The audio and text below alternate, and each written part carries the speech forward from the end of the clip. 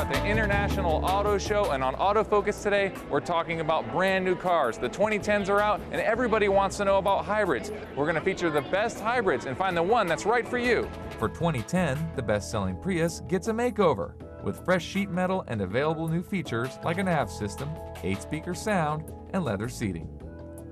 Honda has the Prius in its sights with the all-new 2010 Honda Insight.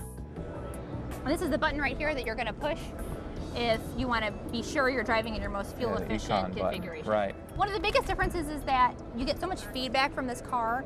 It's trying to really help you change your driving habits. So you're going to see um, as you drive, the speedometer is going to glow blue or green. Uh, blue means you're probably not driving as efficiently, um, drawing a little bit more from your assisted engine. And then as it glows green, it's like a heads up, hey, you're driving in your most efficient configuration. Oh, configuration. how about that? Yeah, and you can actually see, um, Yeah, see there's a little gauge on the side that shows you where you're drawing your Charge and energy from. assist, right. It's still a conventional car with all the things that people want, Yeah. but at the same time, it takes advantage of the great hybrid technology that Honda And it's, innovated. and it's got a lot of room in the back. Come check out the back. There's a lot of room back there. I mean, this is, I mean, Yeah. for, you can haul a lot of groceries. oh yeah, we find a lot of people with really active lifestyles love this car. Yeah, can't quite fit a mountain bike in there, but I might, I might be able to get in there. yeah, there's room for two of us. Come on, There you go. April. This is your solution to Right. camping, right? All right, cool. Prefer a sedan?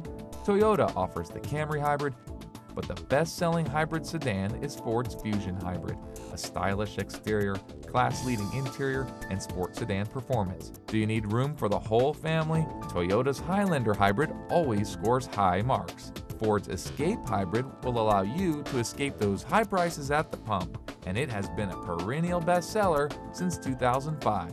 Hybrids are designed for city drivers. Right. So you need to stay under about 35 miles an hour and you'll use only battery. So you can get all the way up to 34 miles per gallon in the city. Right. And on the highway you get around 31 because you're using it mainly as a four-cylinder engine. Owning a hybrid doesn't take any kind of special skills to own one. It's not like you have to do anything different to it, do you? Not necessarily. It's very user-friendly. We have large display screens that even help you drive greener. Um, it's less maintenance, as a matter of fact. You're using less gas, so your oil changes are fewer and further in between. It's eight years, 100,000 mile warranty on all your hybrid components. Wait, you said 100,000 miles? 100,000 mile warranty. Wow, that's Yeah. pretty good. It is, and actually none of them have been used yet for warranty call-ins. How about that one? Not one.